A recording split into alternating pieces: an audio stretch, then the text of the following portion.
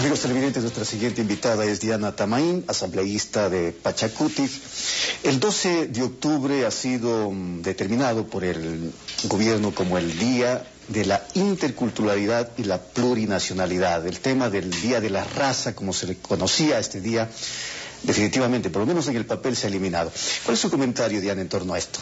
Buenos días, muchísimas gracias. Me parece una cosa graciosa, por no decirle ofensiva, de que el gobierno haya decretado o utilice el discurso de decir de que en este gobierno se declara un día de la resistencia indígena, de la interculturalidad y la plurinacionalidad, cuando esa lucha y ese manifiesto y ese pronunciamiento ha sido de mucho tiempo atrás, eh, no solamente en este país, sino a nivel mundial. Eh, es uno de los artificios más del presidente Correa decir de que él considera un día de la resistencia indígena cuando ha sido la primera persona eh, a nivel de Latinoamérica en perseguir precisamente cuando los pueblos y nacionalidades hemos hecho uso de nuestro derecho a la resistencia en contra de las leyes eh, acaparadoras y concentradoras de poder que este gobierno ha tratado de implementar a través de la Asamblea Nacional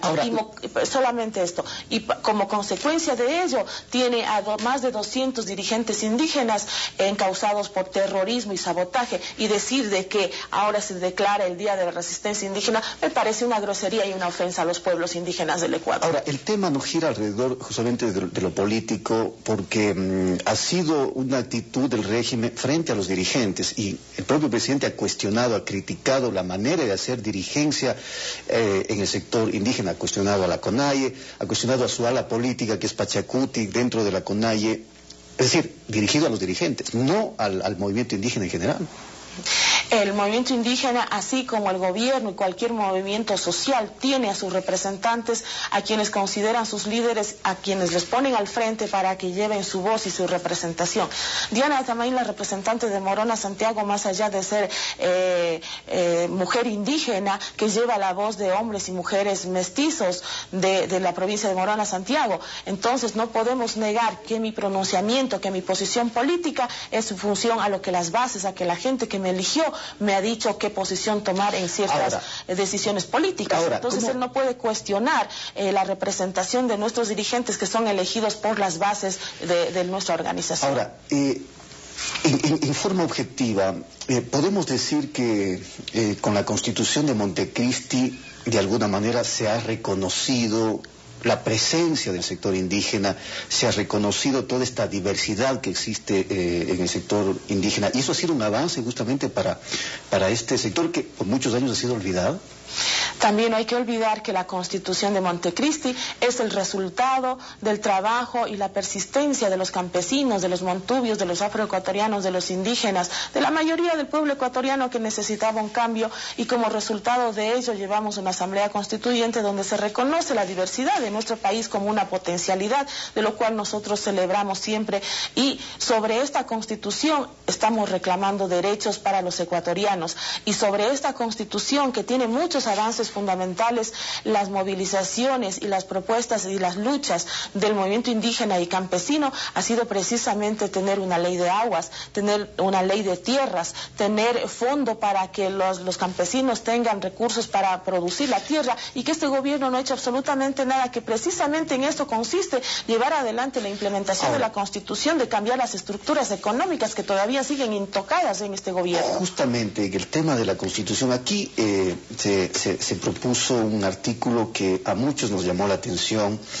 y que mm, fue de alguna manera considerado innovador dentro de la Constitución, el derecho a la resistencia. ¿Cómo se ha aplicado ese derecho a la resistencia y en la práctica?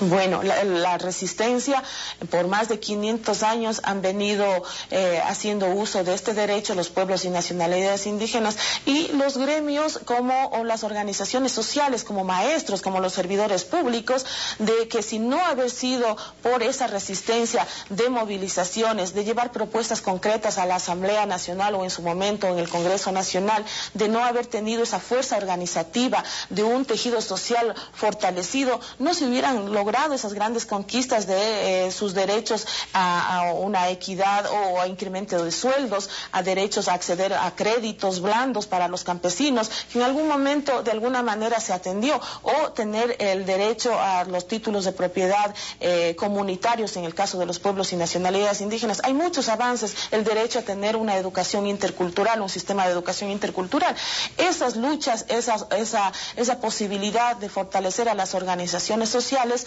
que eh, son el resultado de, pensar en tener una resistencia de los pueblos y nacionalidades nos ha llevado a tener grandes conquistas. Ahora en este gobierno, contrariamente a lo que dice la Constitución, lo que se trata es precisamente hacer esto, afectar a las organizaciones sociales, desarticularlas, encarcelar a sus líderes para debilitar a las organizaciones indígenas y que no tengamos derecho a la movilización, a presentar nuestras propuestas para eh, promover ese cambio profundo que necesitamos. Entonces, realmente el, texto de la resistencia, el derecho a la resistencia en la Constitución, si bien nosotros nos apegamos a ella para protestar, para proponer en un país democrático, realmente se, le da la vuelta y se le interpreta a la, conveniencia del Ejecutivo y ahora se nos acusa de terroristas. Ya, la, la, CONAIE y Pachacuti que están en crisis en este momento por justamente la actitud que ha tenido el régimen frente a los dirigentes.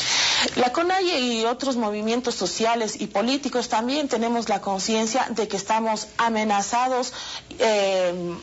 muy fuertemente por este gobierno que tiene todas las intenciones de desarticular a las organizaciones sociales. Porque antes la CONAIE, por ejemplo, tenía mucha fuerza, era protagonista de, temas, de eventos eh, políticos frente a otros regímenes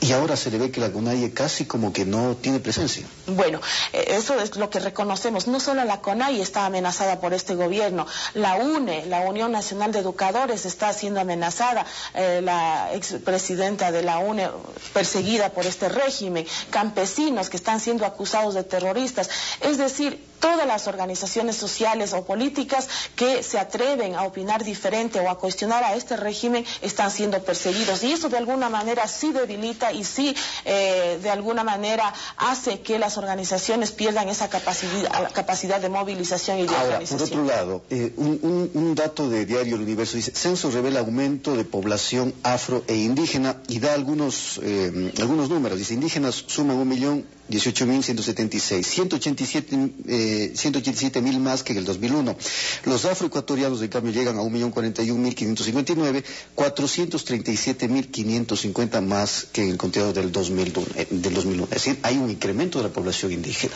en el país. Así es, hemos visto estos resultados de, esta encuesta, de este censo que se hizo y eh, lo fundamental es de ver cuál será, cuál es la situación y la calidad de vida que tienen los afroecuatorianos, los montubios y los indígenas, cómo estamos las mujeres en situación de eh, empleo y con derecho a afiliación, ahora justamente que estamos hablando de la jubilación de las mujeres. Nosotros las mujeres indígenas siempre estamos en una situación de desventaja, de desigualdad, con menos oportunidades de acceder a la educación y por ende con menos oportunidades de acceder a un empleo para poder luego tener derecho a una jubilación justa. Entonces yo creo que este censo ojalá sea una herramienta de trabajo para decisiones políticas serias que este gobierno todavía no ha hecho absolutamente nada de llevar adelante una verdadera revolución como la que tanto pregona. Se nos acabó el tiempo. Diana Tamaín, asambleísta de Pacheco.